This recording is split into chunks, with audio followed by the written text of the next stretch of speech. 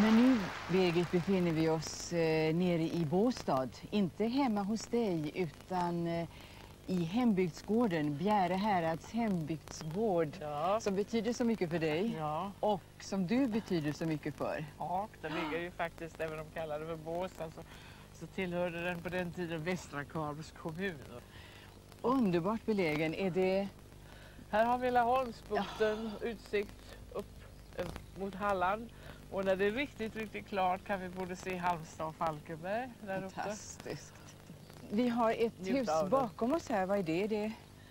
Här har vi, em, det är en gammal prästgård från 1600-talet som har blivit flyttat hit. Flyttades hit på eh, mellan 69 och 71. Och em, där är ofta utställningar. Och där är också ett litet rum som kallas för pastorsexpeditionen. Och där står min gamla orgel i denna pastorsexpedition. Var det den jag- du fick när du var fyra år? Den fick jag när jag var fyra år och det var den lyckligaste dagen. Jag kommer ihåg den fortfarande. Jag trodde jag skulle gå åt av glädje. Ja, det förstår jag. Men nådde fyraåringen ner till tramporna? Ja, hon fick sådär halv... Jag skruvade ju ner den här orgelstolen så lågt jag kunde och så fick jag sitta på kanten och spela. Men här har vi liksom kärnan, Ågergården. Den var här från början.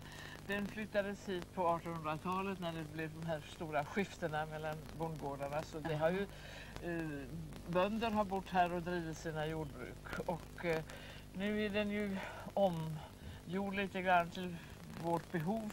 En stor samlingslokal där vi kan ha våra samkväm och titta på filmer och dricka kaffe och äta. Och så är det en mycket vacker eh, inbyggd gård där med en stor tröskvandring. Nu närmar vi oss en gård som du har ett alldeles speciellt förhållande till. Palmagården. Ja, kan man säga. Det är en, en högstuga, mycket sällsynt numera. Och, och för mig har den ju en, har den mycket, mycket stort värde därför att min farmor är född i den här Nej. högstugan. Och sedan har den blivit iordningställd och just nu har den eh, ny, nya vasstak Ja, som är bara ett och ett halvt år gamla. Som har kostat en förfärlig massa pengar. ja, överallt är det dessa fantastiska vasstak, Birgit. Det är mycket, de är mycket vackra och nu hoppas jag att de här, det är andra gången vi lägger vasstak. Det är andra gången som jag har hjälpt till att sjunga ihop till tak. Det var faktiskt anledningen för att vi började med konserter därför att det fanns så förskräckligt dåliga tak här uppe överallt. Och de visste inte var de skulle få pengarna ihop. Och då, då blev det att jag, jag började sjunga ihop. Men sedan har, är det ju fantastiskt alla de här medlemmarna i hembygdsföreningen. De, har gjort, de gör ett fantastiskt arbete, ett otroligt arbete. De arbetar alltså verkligen mycket målmedvetet med stor energi. Jag kommer ju någon gång då och då och tar all eh, uppmärksamheten till mig därför att det har varit konserter och jag har sjungit och jag har engagerat sångare och sådär. Men det är ju bara en gång vartannat år som det kommer in lite pengar. Men de som faktiskt går här och gör alltså rent ideellt arbete, de ska vi inte glömma. Ska vi gå in i gården och titta lite grann hur Ja, dina ja det kan vi göra. farmor bodde? Ja, tänk. Palmagården.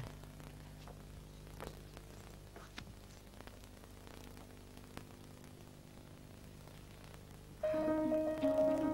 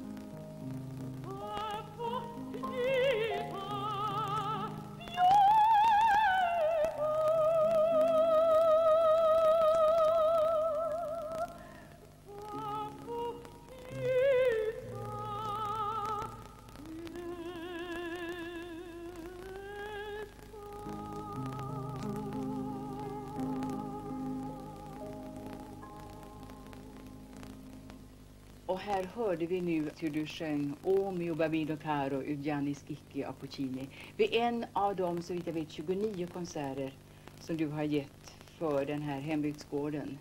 Men nu är det ju fint här också. Nu sitter vi inne i din farmors stuga i köket här.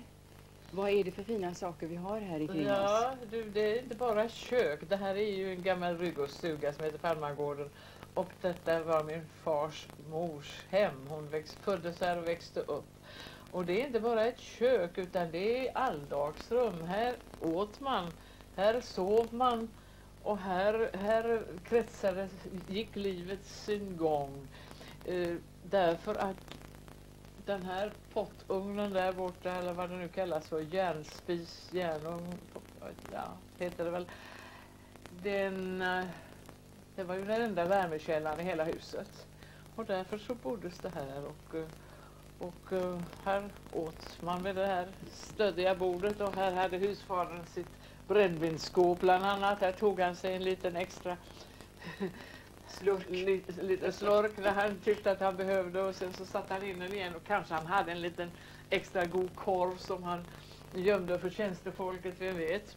Men um, det är, och denna högst, eh, högstuga alltså be, var bebodd av mina släktingar ända fram till, in på 30-talet tills den flyttades upp här till hembygdsparken. Och det var en mycket välbeställd familj. Mm, nu på 30-talet hade de naturligtvis ordnat med eh, andra värmekällor så de kunde använda salen som de då eh, förr i världen bara hade till dans och lek så att man skulle kunna hålla värmen utan, utan någon ugn och sådär. Men eh, jag tycker det är helt fantastiskt att man, man riktigt känner hur, hur, hur släktingarnas and, mina släktingars andar, de, de, de lever här i tak och väggar. Det är inte klokt. Min far talade om när han var bjuden hit som, som barn när de lekte med sin kusin. Så, så var de undfägnades. De hade de bästa maten de, i hela socknen, sa han. Hans, hans eh, faster då, som bebodde den här högstugan. Så det var verkligen mm, underbara minnen som alltid min far hade från den här högstugan. Han och hans syster, mina fastrar. Man förstår att de var välbeställda för här finns någonting som heter, som jag aldrig har sett förut, som heter tiggarbjälke. Ja, ja var, varför då? Och varför, eh, ja. vad betyder det? Det är bjälke, alltså till den bjälken men icke längre fick, eh, fick en tiggare komma eller en gäst innan de blev inbjudna att stiga in. Det kan hända att det är danskt, eh, att det är ett dans, en dansk grej. Jag vet inte hur typiskt svenskt den är. Men man fick och den är ju så pass låg så och, och, det är kanske också mycket därför om det skulle komma in uh, rånare eller banditer så skulle de slå huvudet i, i uh, den här bjälken innan, innan uh, husfadern blev färdig och så att, så att han kunde sätta sig till värns. Och här bakom den här stora uh, burningen som då var varmt, där fick, kunde barnen leka och där, där låg de och sov. Och där fick också en tiggare, om han nu var ren från löss och loppor, så kunde han också få övernatta där bakom spisen. Men låt oss nu börja lite grann från början, Birgit. Ja. Här är ett kort på dig, eh, 18 år gammal, finklädd, mittbena. Gullig tonåring. Vad visste du då om Richard Strauss, Wagner, Verdi och alla de här stora som du sedan har sjungit? Visste du någonting? Ja, det var inte mycket. Jag hade aldrig sett en opera. Jag visste inte riktigt vad det var. Och jag hade aldrig drömt att bli någon operasångare heller. Utan eh, jag hade alltid drömt att få sjunga, att bli någon, att få uttrycka mig med min röst, att kunna bli någon slags sångerska. Men, eh, men eh, längre än till kyrkosångerska eller konsertsångerska på en mindre nivå, dit hade aldrig min fantasi eh, kunnat sträcka sig. Så allt det, det som sedan kom till, det var någonting helt vad jag aldrig hade kunnat drömma om. Men hade du ingen sånglig förebild? Nej, jo, jag hade ett par förebilder. Och det kan du inte gissa, det var Sara Leander och Ulla Billqvist. Jaha, de, var populära. ja, jag tyckte de var mycket vackra. Jag försökte att lägga min röst så där väldigt lågt ner som Sara Leander och försökte få hennes... Jag var ganska min röst var ganska låg på den tiden. Så alla människor trodde att, eh, och tänkte, även min sånglärare, att jag var mezzo. Mm. Så jag hade mycket mera, sedan kom höjden liksom till på köpet och så kanske jag gav lite avkall på det lägre registret. Men som sagt var Sara Leander var min stora idol. Och den första inspelningen jag gjorde då var jag hälsade på min farbror Liseberg. Därifrån härstammar den där 18-åriga fotografiet. Och eh, där kunde man spela in grammofonskivor. Och jag satte mig vid pianot och spelade in idag gamla spinnrocken spinner. Och så någonting som Sara Leander också sjöng, nu har jag glömt det, vad det var för en sång.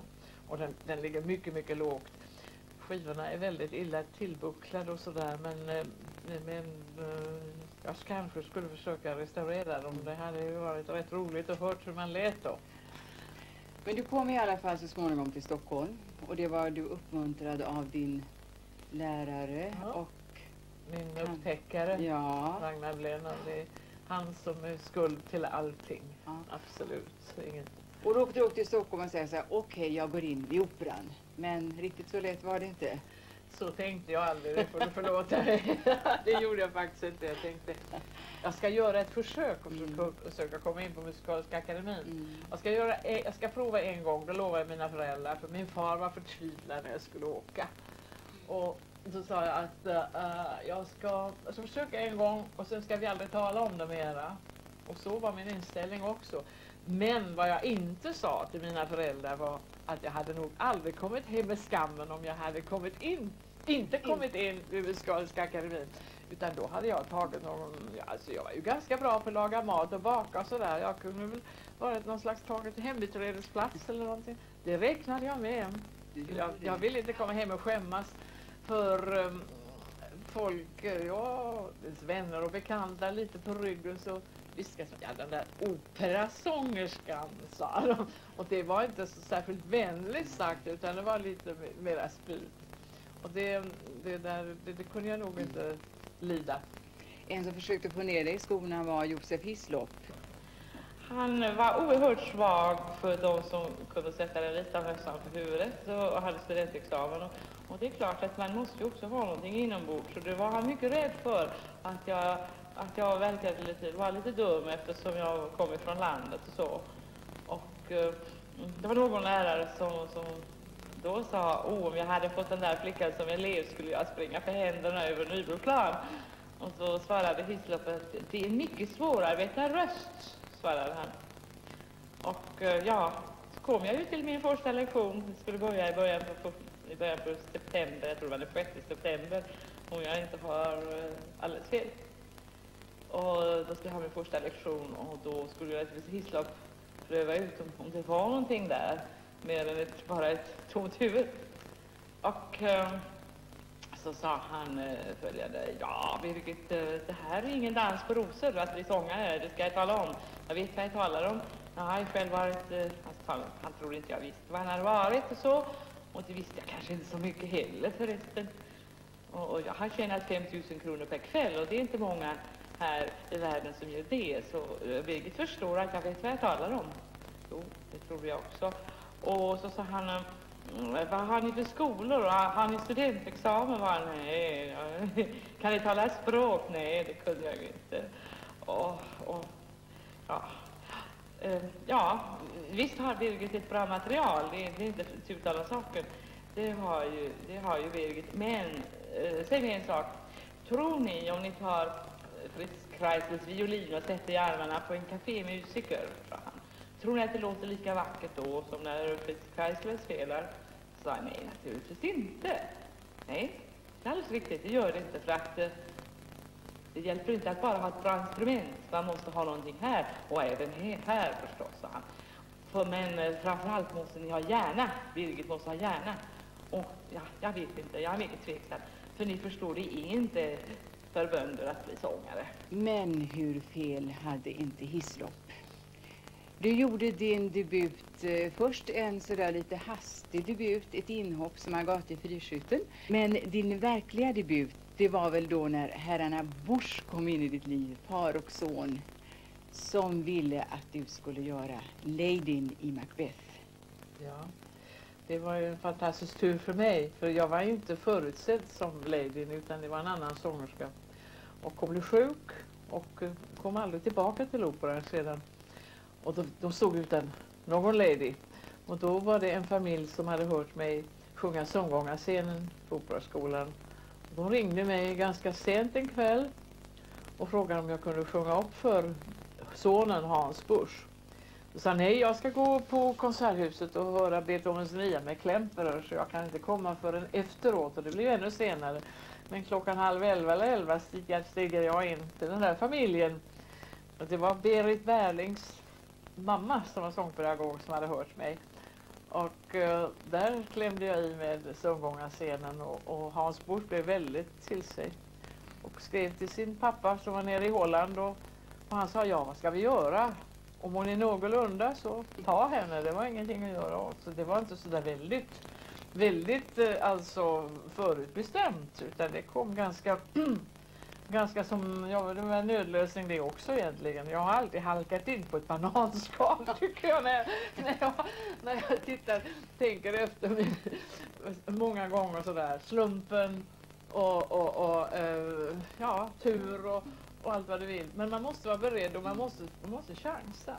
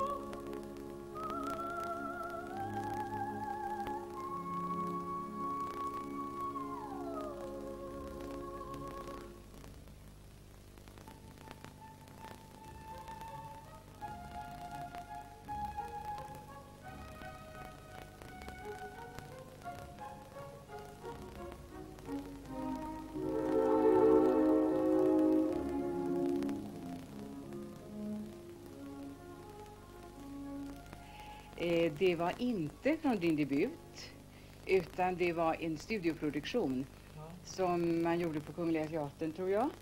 Och Stämmer. det var Göran Gentele som var regissör. Gentele och du, ni samarbetade en hel del. Ja, en hel del. Det blev ju inte så väldigt mycket men, eh, men som sagt var, han var ju den verkligen som fick mig att, eh, att eh, ja, blomma upp på ett helt annat sätt. Han, han, ehm, han ville ha mig att göra Salome. Och eh, jag ansåg ju att det var en roll som låg absolut utanför mina gränser. Och, och dels så, så var jag rädd att jag inte kunde göra dansen för jag hade just haft en pleurit, en lungsäcksinflammation, en fläck på lungan och så vidare och fick inte lov att anstränga mig. Men Göran Gelle med sin charm, han, han eh, gav sig inte. Han tog inte ett nej som ett, ett, ett avslag inte, utan han, han gav sig inte för man sa ja. Och han ringde en hel månad klockan åtta på morgonen. Tills, eh, tills jag sa okej.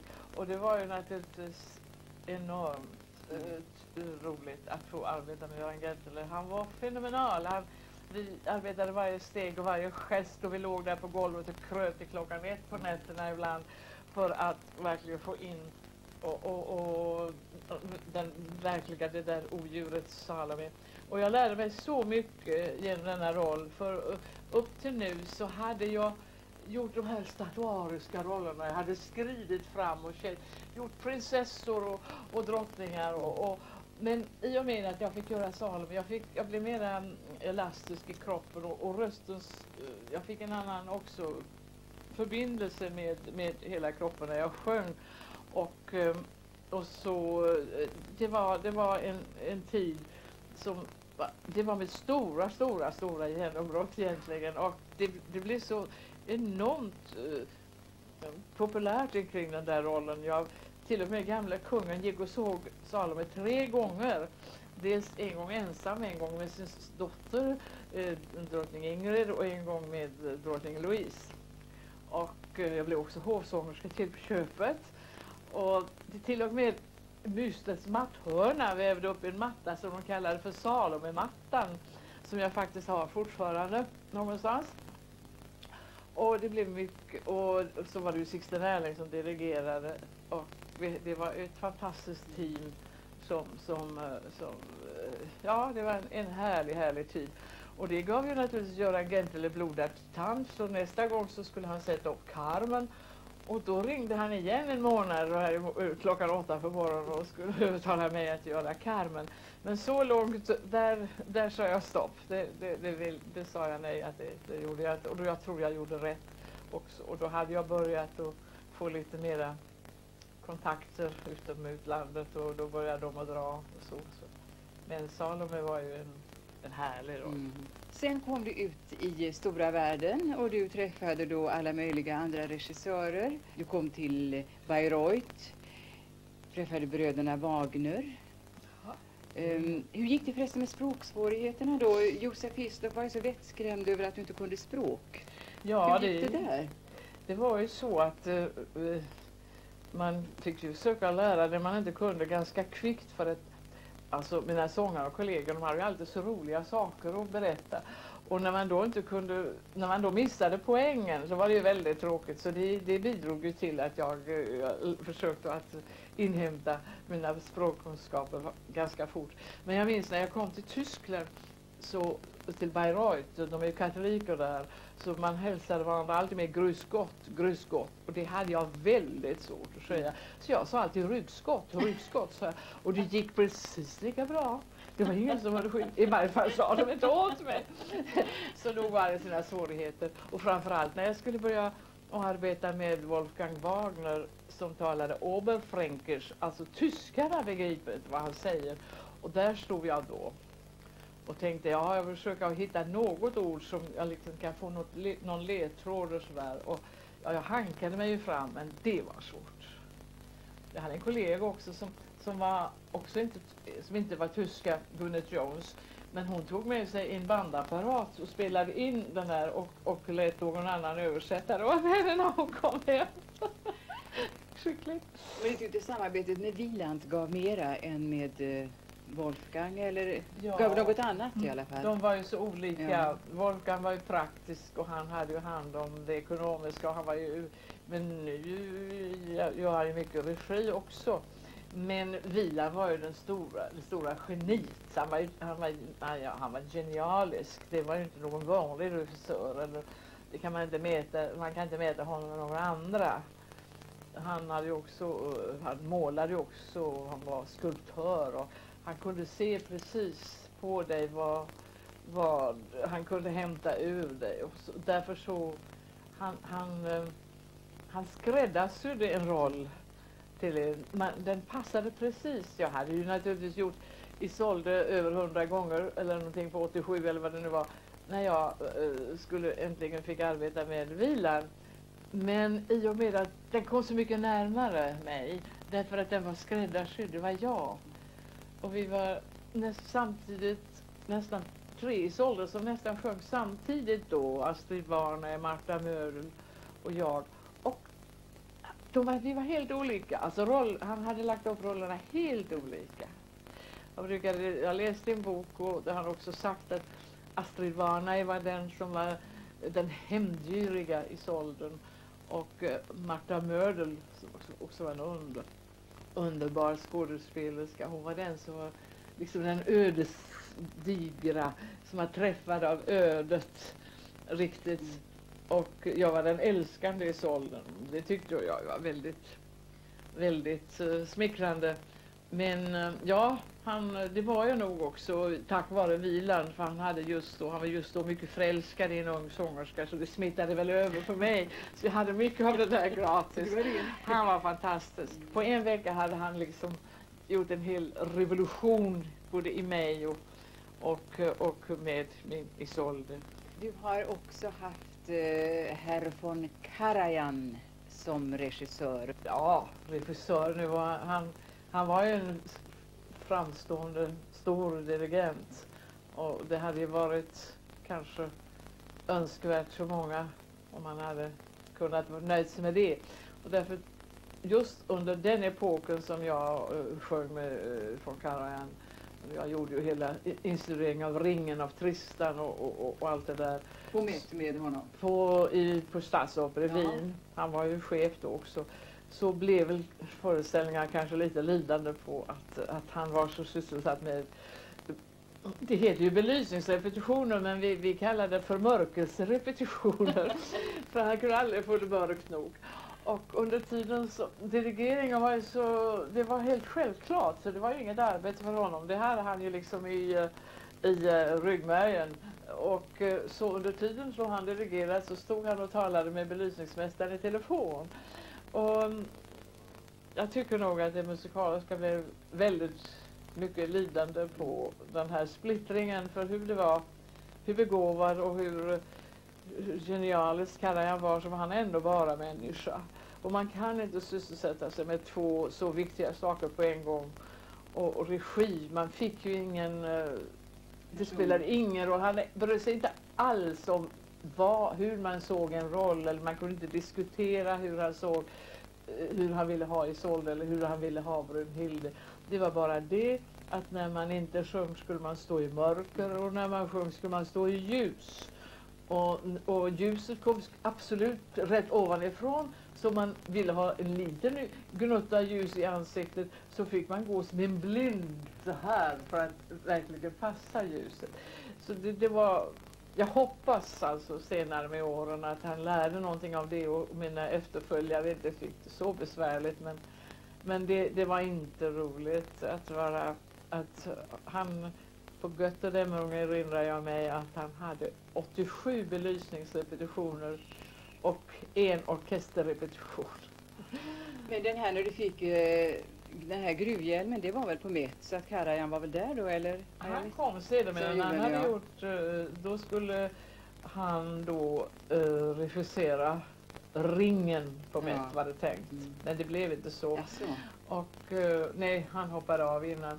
Han, ehm, han gjorde Valkyrian där.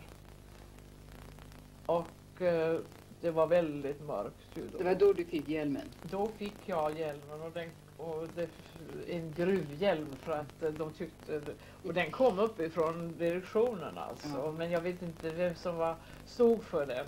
Och Kalle fick veta det och han ville ju gärna han var på mig och frågade vem har gett hjälmen, vem har gett hjälmen? Så säger jag, jag vet inte men det kom från direktionen där uppe så jag vet inte. Det var väl så väldigt mörkt. Han dirigerar alltid utan till och, och, vilket jag inte alls tycker om när det gäller opera. Mm. För hur det är, även här Ponkarajan Karajan har gjort väldigt många misstag när han har dirigerat utan till. En gång blev jag lämnad i sticket i Tristan och Isolde. Jag fick en blackout alltså. Och då kunde han inte hjälpa mig. Han låtsades bara att han inte märkte det. Han ägnade sig åt, åt, åt orkestern. Så vilken dirigent som helst, även om han är alla är, vi är ju inte gudomliga någon och alla kan vi ha våra blackouts. Mm. En dirigent måste ha noter där så att om någonting Mm. händer ja, med någon musiker. Nu får ju varje musiker rädda sig själv då. Om, om inte, för han kan, det kunde han inte. Det finns en dirigent som du har sagt att du är rädd för. Hans Knappertsbusch. Jag var rädd för honom, ja. Han är, han är bortgången nu. Ja. Ja. Det var, han, han, han såg ju skräckinjagande ut på något sätt. Han var så, han hade sådana anlets, han var två meter lång nästan och hade han anletsdrag som han var som han var utmejslad i trä eller sten. Han- ja. Han repeterade aldrig. Jag fick sjunga min första ring på originalspråket med Knappesbusch i München utan repetitioner. Och han hatade repetitioner. Han, var han, han, han lidade på impulsen och litade på sina musiker och sångare. Och en kväll, jag hade sjungit en Salome med honom förut, och en kväll så skulle det bli Salome igen på Münchenoperan, naturligtvis utan repetitioner. Och han tyckte icke om Salome, han, han hatade den operan. Och han var inte på särskilt bra humör. Och eh, Johanna, han, eh, han gjorde, sjöng några musikaliska fel. Och eh, det sista felet han sjöng, det var strax innan han går ner i cisternen igen. Då blev Knappesburg så vred så han reste sig upp och skällde ut honom över orkestern. Jag kunde inte höra vad han sa för han hade en mycket hes stämma men det var någonting otäckt för han, han använde eh, ganska smutsiga ord när han blev arg. och, och när jag hörde det här så tänkte jag oj, tänk om detta hände mig då, då, då ramlar jag ner död på marken. Och innan jag hade tänkt tanken till slut så kom jag in fel. Jag satte in fel och gjorde ett, ett fel, när, när, uh, musikaliskt fel, när huvudet ska upp ur cisternen. Jag kommer visst in för tidigt i rena nervositeten. Bara reser sig igen i sin två meters längd och upprepar antagligen, jag kunde inte höra vad han sa, men jag hörde detta förskräckligt väsande ljud.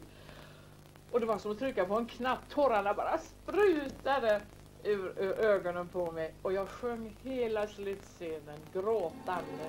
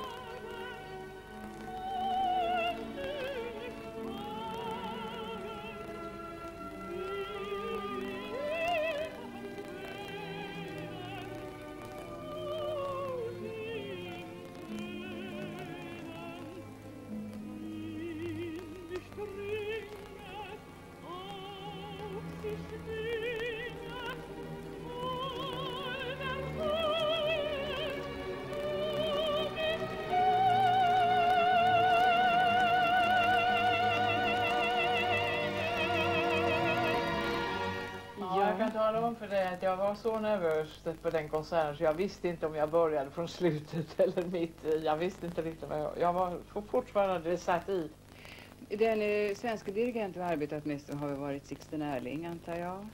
Ja, jag har arbetat väldigt mycket med Sixten Erling. Det har jag gjort. Och vi hade väldigt fint samarbete och jag tyckte det var fint att sjunga med honom. Han, han var sångardirigent och han var med i sångarna. Nu spelar han ju mycket bra piano själv.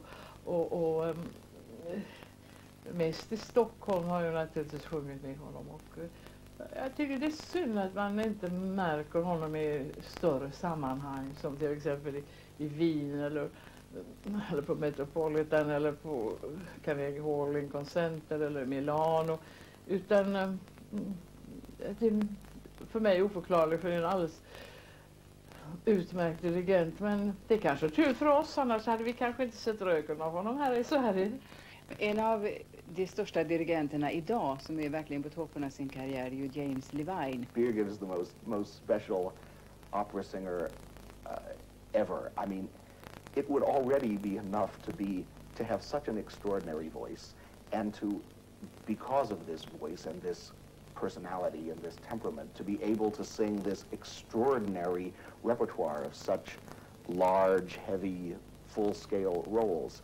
But what is also extraordinary about Birgit is not only having all of this, all this talent, all of this gift, but to be so disciplined with it, to work so hard always to, to get everything as, as good as it can possibly be.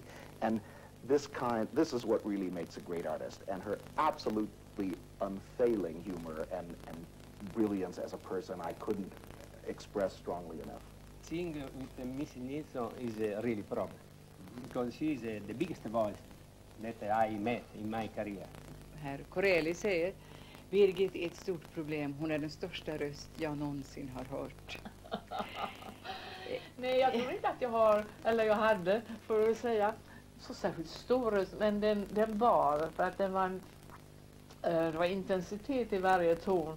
Och det är inte frågan om hur stor volymen är, men det måste vara ping i rösten. Det måste vara en, en kärna i, som liksom i ett körsbär. Att körsbär har en kärna, sen växer det kött runt om. Men det måste vara, det måste vara en kärnfull, en intensitet. Och då bär bär en röst. Den behöver inte vara stor. En liten röst kan bära fantastiskt om den är rätt placerad och har intensitet i varje ton. Liksom en violin. Tänk på, det brukar jag alltid säga när jag undervisar. Lyssna på violiner. Varje ton måste ha sin klang, sin valör och sin intensitet. Då måste jag verkligen be att få läsa upp vad som står i eh, Plato Plater Domingos bok My First 40 Years om dig, Birgit. Och det här gäller då när ni samarbetade i Verona. Där ni gjorde några föreställningar av Turandot. Så här skriver Domingo. Flödet och storslagenheten i Birgits röst under dessa föreställningar gjorde att hennes stämma kan liknas vid en slags klingande blixt. Genom en märklig effekt, akustiken, psykologisk eller bådadera, ju längre bort jag var från henne, desto mer monumentalt klingade hennes röst. Det fanns ögonblick när jag var så överväldigad av beundran över hennes vokala förmåga och kraft att jag nästan glömde bort att fortsätta sjunga. Att få spela i Torandot tillsammans med Nilsson har varit en av höjdpunkterna i mitt liv. Inte bara som artist och kollega, utan också som en dyrkare av stor vokalkonst. Några år senare, när jag medverkade i ett BBC-program med om vilka skivor jag skulle ta med mig till en öde ö valde jag hennes insjungning av Inquesta Regia som min absoluta favorit. Trots att den ändå inte på långa vägar motsvarade det jag hörde live i Verona. Åh, oh, vad fantastiskt. Jag, jag minns det. Jag sjöng Tornado till hans ja. första Karla. Han var helt underbar.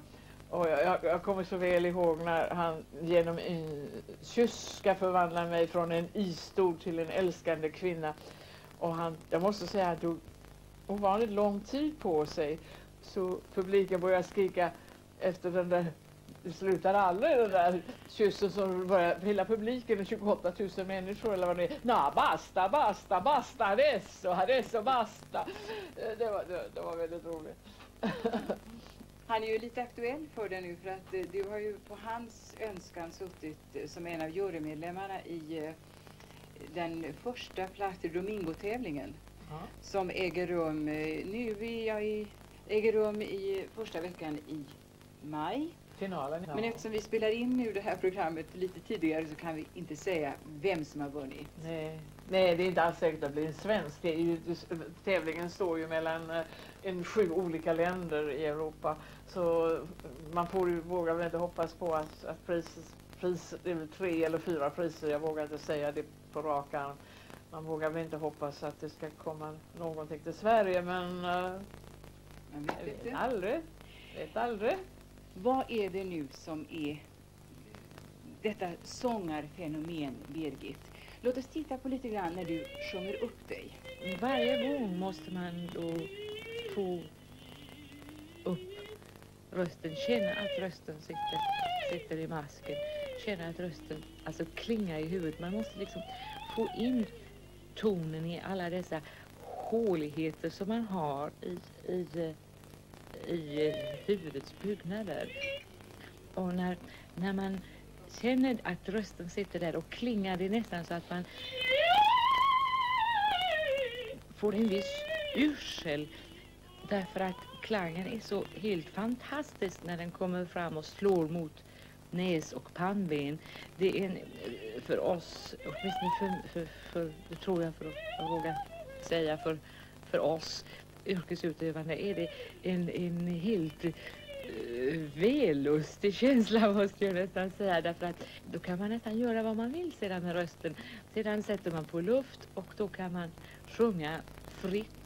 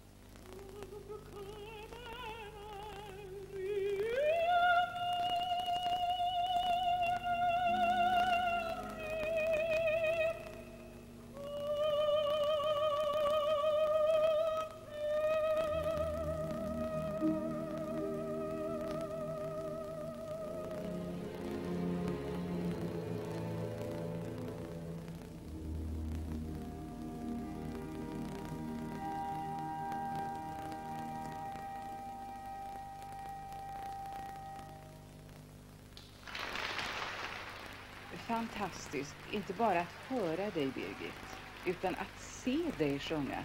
Eh, alla vi som har försökt sjunga Toscas bön vet ju hur fruktansvärt svårt det är på det här stället på slutet. Man kommer från det kraftiga fortet på B och sen ska man ner till ett pyttelitet pianissimo på G. Och det kräver en otrolig teknik och begåvning. Jag skulle nästan tro att det där, eh, att gå från där höga B och A och sedan till pianist, antingen har man det eller har man det inte. Det är vanligt svårt för dem som, alltså de som har sådana väldigt tjocka stämband och oböjliga, de, de klarar inte av det även om de arbetar så de håller på att bli blå i ansiktet. Om du hade en eh, grupp unga lovande sångare framför dig just nu, vad skulle du ge dem för goda råd? Det är väldigt, väldigt få sångare som, som tar alla välmenta och goda råd till sig. Man måste ju också sovra på det. Så jag vet inte. Om de frågar mig, Om de frågar om dig. de frågar Ja. mig i en viss eh, då, ja. Jag brukar säga det att man, man måste ju först, för att kunna bli någonting, då måste man först ha rösten i sin hand. Man måste ju eh, inte bara komma och säga, oh jag känner så mycket och jag, jag måste till operan och jag måste, jag måste bli sångerska. Rösten måste ligga rätt. De måste ju veta vad de kan göra med sitt instrument. Detta är, detta är A och O. Jag brukar också säga när jag ger en masterclass att, att jag, jag tycker om att baka kakan innan jag dekorerar den. Så att de inte, man börjar med uttryck och sedan så att de inte kan fullfölja, interpretera rent för att de har tekniska brister. Det- De ska vara överståndna så att säga. Det, eh, nu för tiden är det ju ofta det att är man en bra personlighet och eh, har lätt för sig på scen då gör man mycket avkall på hur rösten är, om de kan sjunga bra eller inte, eller om de har någon teknik eller inte. Huvudsaken är att de är intressanta. De håller kanske fyra eller fem år och sedan tar det slut därför att inte de vet hur de ska behandla den. Och jag menar om en pianist ska, ska om, så vill utbilda sig och bli en stor pianist, det går inte att, och att han säger och kommer till en lärare Ja, jag är lite styv i fingrarna och jag är inte så duktig på löpande skalor och så, men jag känner så mycket. Då skulle man tro att den där instrumentalisten, om nu är violinist eller pianist eller vad det inte var riktigt klok. Men det går för sångare. De bara har de bara interpretationsförmåga och det är så viktigt nu för tiden. Visst är det viktigt, men man måste ju ha någonting att interpretera med. Det är vad jag brukar säga. Och jag tänkte på det du sa om Josef Hislop sa att han måste ha något här och pekade på sitt huvud. Men eh, man har ju inte tyskan, engelskan, franskan där av sig själv. Men har man någonting här uppe så kan man tillägna sig den. Och då krävs det hjärnan och den är väl också en förutsättning för att man ska kunna göra en stor karriär, Birgit. Ja, lite där uppe av den grå substansen. Det, det, det skadar inte. Men det är också att man har en väldig uh, envishet och en väldig självdisciplin och, och energi. Det måste man också, arbetsförmåga, det måste, det måste hänga ihop. Det är många, många punkter som är viktiga för, för det här yrket. Alltså, och inte minst självdisciplin. Vi ska avsluta det här programmet, Birgit, med att höra ur din sista nya roll du gjorde, Färgarfrun i Die Frauenschatten, eh, i versionen från Stockholmsoperan. Och det är en inspelning, jag tror att den är från 78.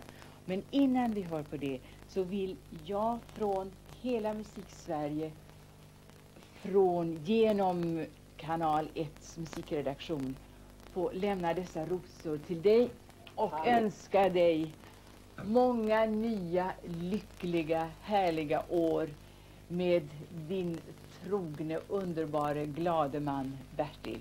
Tack ska du ha, Birgit. Tack ska du ha Margareta, tack så mycket.